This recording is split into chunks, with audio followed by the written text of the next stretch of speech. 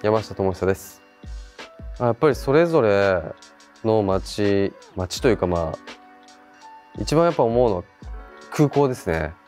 あの空港に降り立った時にやっぱりあなんかここにまた戻ってきたなっていう、うん、香りとやっぱりねあのリンクしてるのかなっていうふうに思います。それはもちろん日本に帰ってきた時もあのあ日本の香りだと思います。最近ちょっと朝早い日々が続いておりましてあのお休みの日は気分転換につけることもあります、えー、今日の香り。これです。フリディオールを選びました。今日はあの撮影の時もすごい素敵なお花とコラボレーションで撮影させていただいたのでそういう華やかな香りゴージャスな香りという意味で、えー、こちらを選ばせていただきました。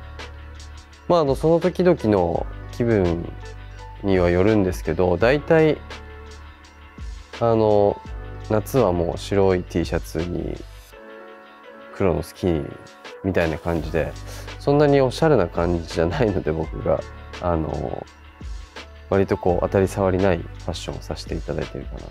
まあ、あのこういうふうに撮影の際にねあのプロのスタイリストさんがスタイリングしてくれるのでそれを楽しんでるというような、一緒に楽しませてもらってます。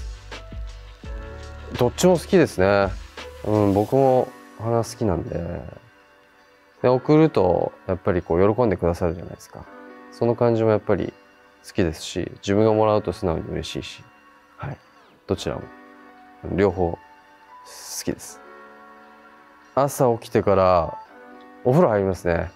ちゃんとこう寝る前にお湯をあの自動でこう沸かすようにセットして朝起きて入ってます。休みの前日ですかね。あ明日は何もないぞみたいな。ちょっとそこは唯一こう気が抜ける時かなというふうに思います。みんなそうか。大体ね。料理します。最近はチャーハン作りました。